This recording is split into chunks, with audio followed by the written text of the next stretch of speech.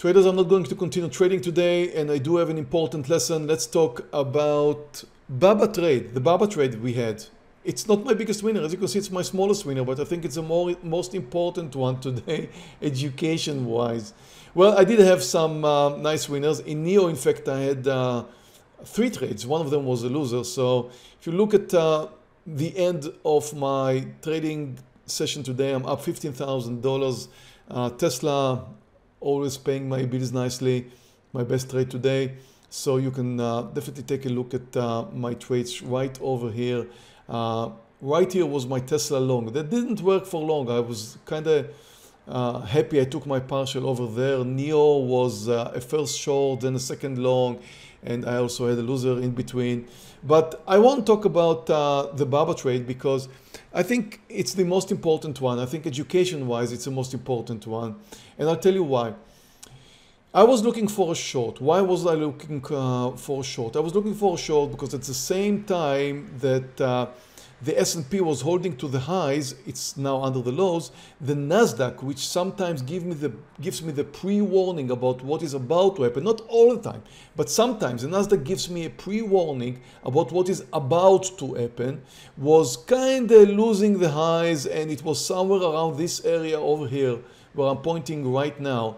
And at that point, it looked like the Nasdaq is kind of trying to move lower. At that point, I was looking for a stock that is relatively weak. Now, I would rather find a stock that is, is, is, is not already uh, very much extended to the downside.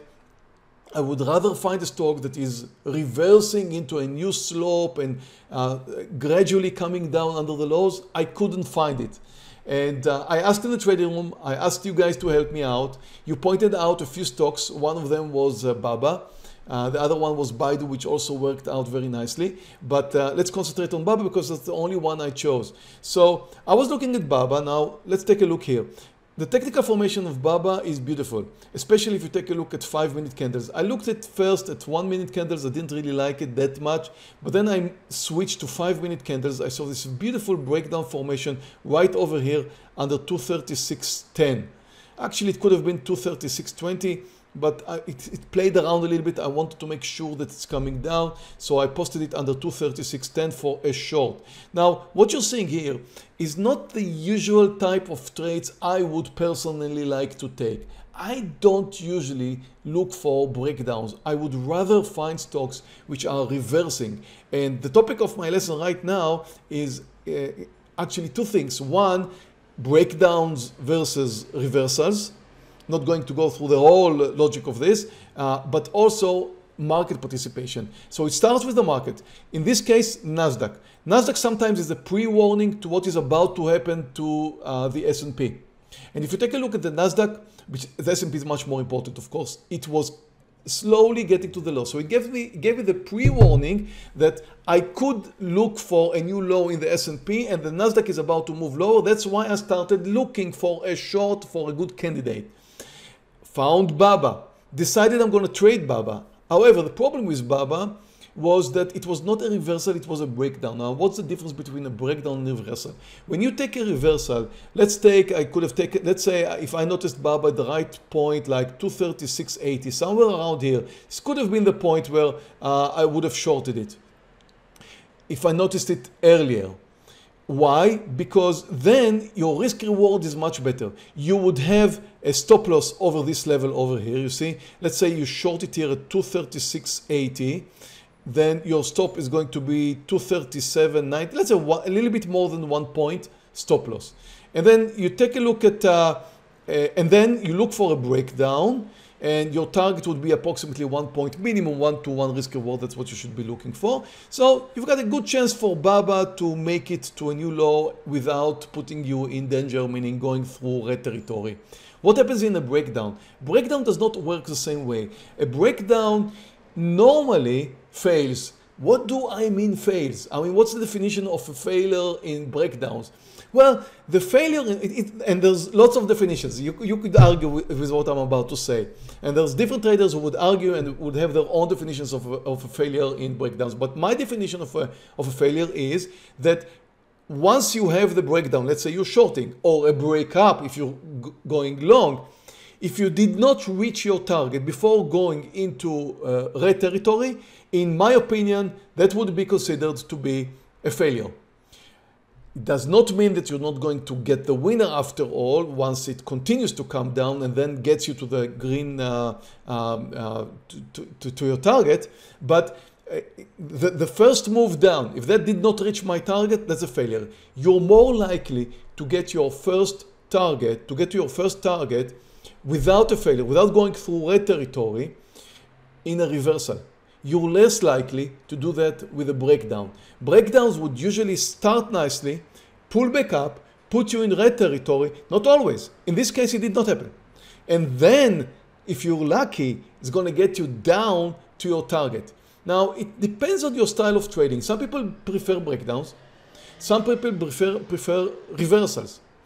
And there's a huge difference between breakdowns and reversals. I take both, but I prefer reversals.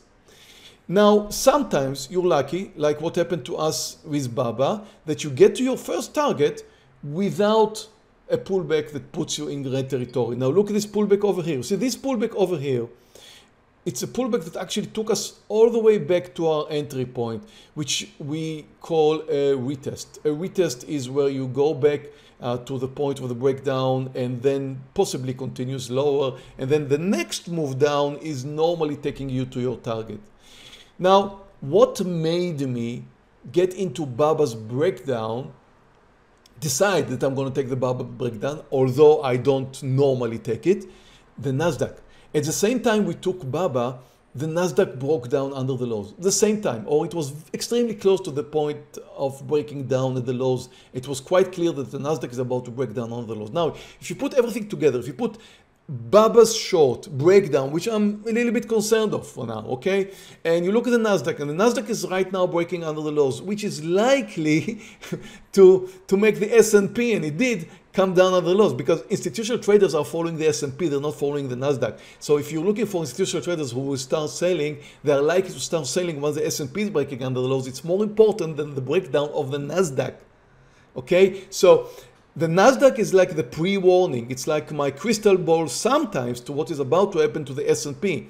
So the Nasdaq just broke down, which gives me probably a, a higher pro probability trade in, in, in, in Baba that makes me a little bit more relaxed about my Baba trade, not totally relaxed. That's why the quantity is a little bit smaller as well. Breakdowns, I'm a little bit concerned. Quantity is a little bit smaller. So now I look at uh, the Nasdaq breaking down. I'm planning my Baba trade, planned it before the Nasdaq broke down, took my Baba trade short. Lucky enough, this could have been different, that uh, the Nasdaq continued down quite a lot. Uh, to the point, in fact, of closing the gap. Look at how beautiful it came down and closed the gap right over here, which is usually the point of reversal, exactly what we're seeing here. And Baba at the same time came down, uh, did reach my first target, and uh, of course pulled back up after I took my partial. And I'm still riding it, I'm still short Baba, so I've got a little bit bigger winner than, than what I just showed you. And hopefully it's going to continue now, I don't know. Anyway, the market's trending lower. So that what I wanted to talk about here is look for a short in a stock that is relatively weak. Some of you guys posted, when I was looking for a short, some of you guys posted stocks which are 5% up, trending lower, they could and probably will come down when the market will come down or when the Nasdaq will come down. And then I asked you to start looking for stocks which are relatively weak. Like look at Baba at the point where we shorted it, it was in red territory, started in green, but it was red. So Baba is relatively weak. You you need to short stocks that are weak if you if you if you you know what I say something I, I I I said for a few times here in the trading room. If you walk into a bar and you look for a fight you don't pick the bully of the bar. You don't pick the uh, football player the guy who uh, who looks like a guard you don't you don't pick the strongest guy in the bar. You, you decided you want to pick up a fight in the bar? Look for the weakest guy. Not that I usually do that but some do. So I don't know if this example was uh, was the right example to give. But when you want to short a stock, you short the weakest ones. You don't pick up a fight with a stock that is up 5%. You short the the weakest one you see. And Baba was definitely uh, in this uh, definition. So watch the market. Expect the next move of the market. Watch the stock that you're trading. Expect the next move. Realize the difference between a reversal and a breakdown. Get ready for your first partial. Get ready also to be to go through red territory and probably continue. But again, it's not going to work the same. Breakdowns and reversals uh, I have a lot to say about reversals and breakdowns, and probably I'm going to say it some some other times. But uh, it's, it's been a little bit uh, uh longer uh, lesson than I expected. So anyway, um, I'm happy to finish uh, this day in green too. so far, the week is I'm, I'm, having a good week. Um, three green days in a row. Although my first Green Day was just marginally up a few hundred dollars on Monday. Lucky with one good trade that put me in green territory. But yesterday it was amazing. Today is very good day as well. And I'm happy that some of you joined me. I've, I've seen a lot of you in YouTube and uh, in here in our main trading room joining me in some of my trades today. Makes me feel well. Um, you know what? I enjoy seeing you make money more than I enjoy making myself money. Seriously, I'm not joking. I do. I do. When, when, I, when I get to see the way that uh, you guys are doing and really makes me happy. So thank you for participating, uh, if only for that. And if you're on YouTube, um, how about giving us a thumb up? I think we earned it today. We will really appreciate if you give us a thumb up. It helps our channel, helps more people like you find uh, day trading videos and this, I think, I believe, very good trading room. So thank you for participating with us too. And um, there's a button down there in YouTube which you can press on and subscribe and click the notification bell on if you want to see my future uploads. So thank you all for participating and I'll see you all tomorrow. Enjoy the rest of your day. Stay green and healthy. Bye traders.